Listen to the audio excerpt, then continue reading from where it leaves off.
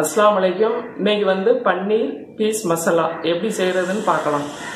பன்னீர் வந்து கட் பண்ணி வச்சுருக்கேன் அப்புறம் வந்து பட்டாணி வேக வச்சு வச்சுருக்கேன் உப்பு போட்டு. அப்புறம் நமக்கு வந்து கரம் மசாலா. ஒரு அரை ஸ்பூனு மஞ்சள் கொஞ்சம். கால் ஸ்பூனு மஞ்சள் பொடி. அப்புறம் வந்து மிளகு தனியா. தனியா ஒரு ஸ்பூனு. மிளகு சீரகம் ரெண்டும் சேர்ந்து அரை ஸ்பூனு.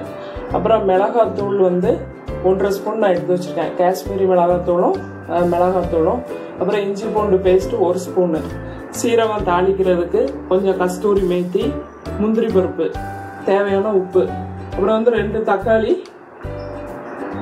ரெண்டு தக்காளி கட் பண்ணி எடுத்து வச்சுருக்கேன். மூணு பெரிய வெங்காயம் கட் பண்ணி வச்சுருக்கேன்.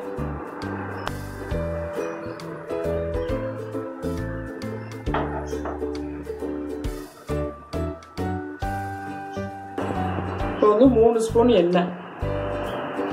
ஆயில் சூடாகட்டும்.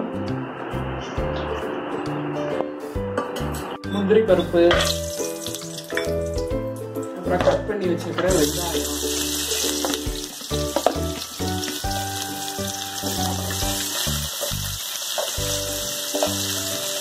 வெங்காயம் நல்லா வதங்கணும். முந்திரி பருப்பு வெங்காயம் அப்புறம் நம்ம தக்காளி சேர்த்துடலாம். வெங்காயம் வந்து நல்லா வதங்கிட்டு இருக்கு இப்போ தக்காளி சேர்த்துக்கலாம். தக்காளி பச்சை மிளகாய் நல்லா வதங்கட்டும். நம்ம வந்து இதை ஆற வச்சுட்டு அரைச்சிடலாம். ஒரு ஸ்பூனு ஆயில். ஆயில் சூடாகட்டும். ஆயில் சூடாகிட்டு ஒரு ஸ்பூனு சீரகம். சீரகம் நல்லா பொரியட்டும். இப்போ மிளகாத்தூள் சேர்த்துடலாம்.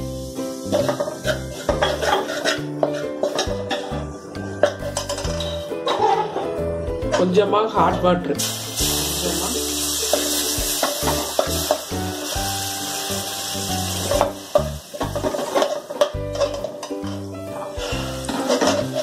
இப்போ நம்ம அரைச்சி வச்சா பேஸ்ட்டை சேர்த்துடலாம். தக்காளி வெங்காயம் முந்திரி எல்லாம் அரைச்ச பேஸ்ட்டை நம்ம சேர்த்துடலாம்.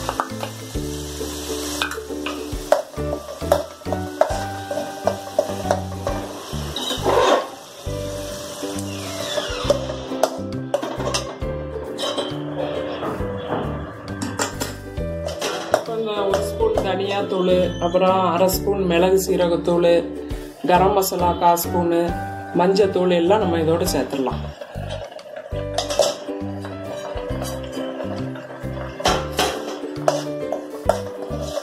நல்லா மிக்ஸ் பண்ணி விடணும்.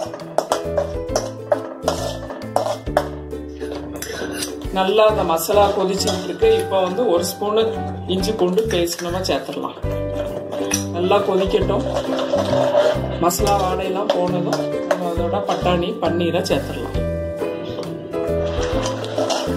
மசாலா ரெடி ஆகிட்டு இப்போ நம்ம வந்து இந்த வேக வச்ச பட்டாணியை சேர்த்துடலாம். இதோட.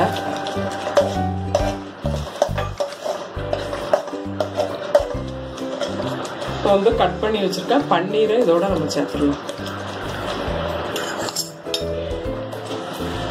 அஞ்சு நிமிஷம் இந்த பன்னீர் கிடக்கணும். ரெடி ஆயிரும் டிஷ்ஷு கொஞ்சம் கொத்தமல்லி இலை.